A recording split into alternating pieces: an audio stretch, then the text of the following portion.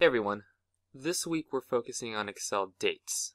Working with dates in Excel can be kind of tricky, and I wanted to point out a few really useful functions that I use a ton. Okay, so here's my problem. I run HR for a company and need to sort my employees by their hiring anniversary dates so I can plan for their annual reviews, pay raises, and promotions. Right now, they're sorted by their start dates. And that's not too useful for my purposes. For example, Larry Page started after Bill Gates, but Larry's anniversary on January 18th happens before Bill's anniversary every year. I need to somehow generate this year's anniversary date for each employee.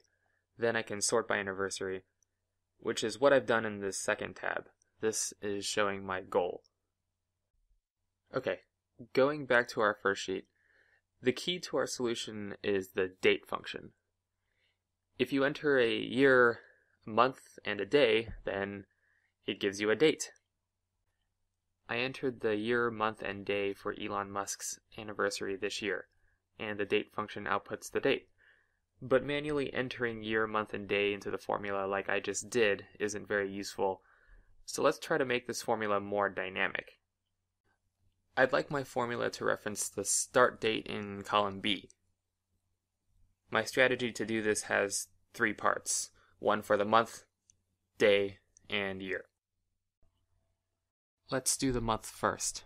There's a handy function called month that will grab the month of a date.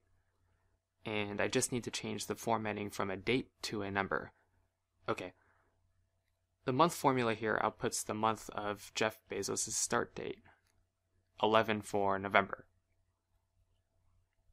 And I can add the month function directly into my date formula, replacing 9 with month and a reference to column B, the start date. There's also a day function that works exactly like month.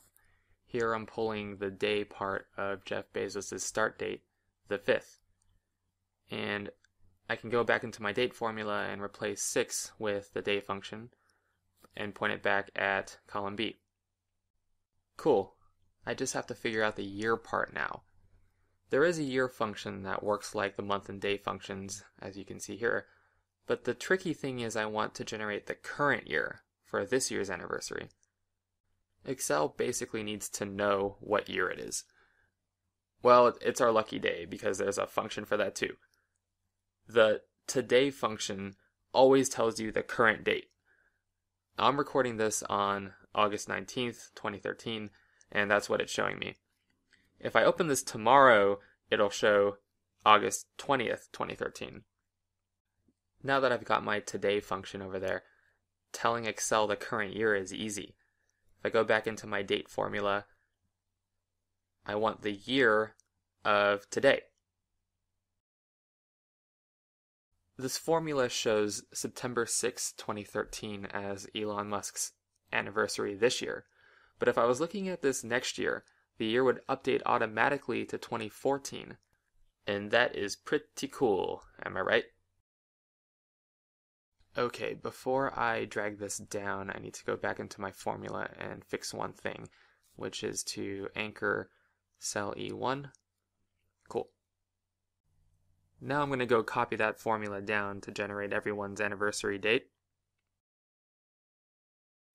Last thing is I'm going to open up my auto filters and make sure I'm sorting on anniversary date, column C. And we're done.